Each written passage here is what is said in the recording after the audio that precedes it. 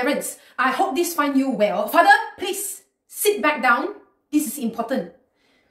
Confucius said, I am gender fluid. Yes, I am gender fluid. This means that my gender identity is not fixed. Okay, some days I may feel like a sexy bitch. Other days I may feel like a sexy bastard. And sometimes I feel like both. But always, always sexy.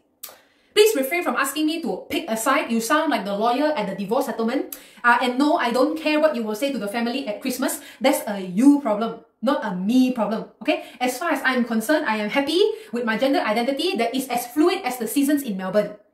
Kind regards, your sexy gender fluid baby.